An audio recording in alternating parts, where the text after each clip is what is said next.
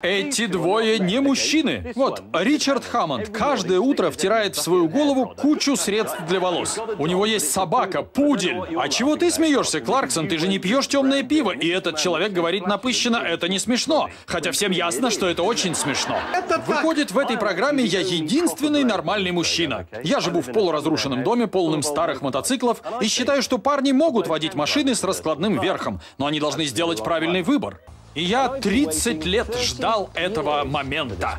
Когда я был мальчиком, и когда другие мальчики по утрам думали о том, как устроены девочки, я думал о Триумфе TR6. Думаю, это самая мужская тачка, которая когда-либо существовала. До появления TR6 спорткары выглядели немного более женственными, их формы были мягкими, округлыми, как женская грудь и бедра.